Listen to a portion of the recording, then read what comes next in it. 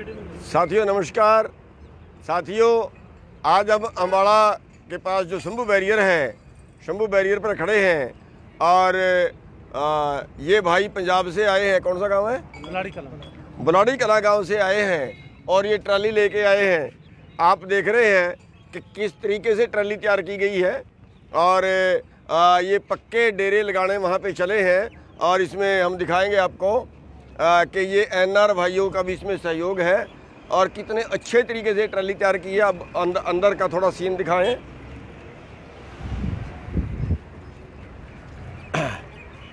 ये थोड़ा अंधेरा शायद आपको नज़र ना आए।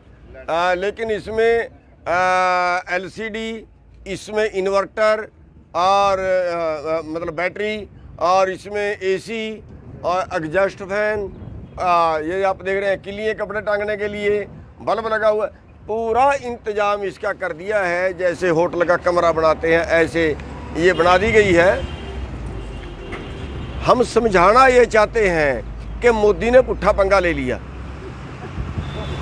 अब मोदी को हम दिखाना चाहते हैं सरकार को कि जहाँ हम इस तरीके से तैयार होके जा रहे हैं, क्या हरा देगा मोदी हमें?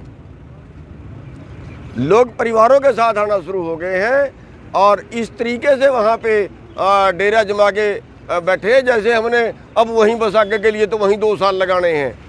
ऐसे हम जा रहे हैं वहाँ तो मैं, हम समझाना ये चाहते हैं इस सरकार को कि ये जल्दी मान जाए, वरना ये किसान जिस तरीके से तैयारी शुरू कर दी है, वहाँ कईयों ने एसी लगा लिए कईयों ने वहाँ पे जो है वो शेड डाल लिए हैं, कईयों ने वहाँ पे बहुत अच्छे जो है वो झोंपड़ियाँ अपनी बना ली हैं।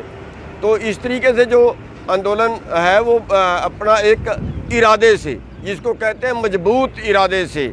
अब ये देख के मोदी जी या भाजपा सरकार अंदाज़ा लगा सकती है कि किसानों का आंदोलन लड़ने का क्या इरादा है। तो मैं धन्यवाद करना चाहूँगा पंजाब वाले भाइयों के, हरियाणा वाले भाइयों ने भी ऐसे कर दिया और इस तरीके से जो किसान आने शुरू हो गए हैं तो ये एक आंदोलन तब तक लड़ा जाएगा, जब तक हम ये आंदोलन जीत नहीं जाते। और जो भाई देख रहे हैं मैं उनसे भी ये कहना चाहूँगा कि इन भाइयों से सीख ले के इस तरीके से आए, अपने कपड़े परिवार साथ में लेके, इस तरीके से आए कि हम तब तक लड़ेंगे जब तक हम जीत नहीं जाते। आप सबका बहुत बहुत धन्यवाद। किसान मजदूर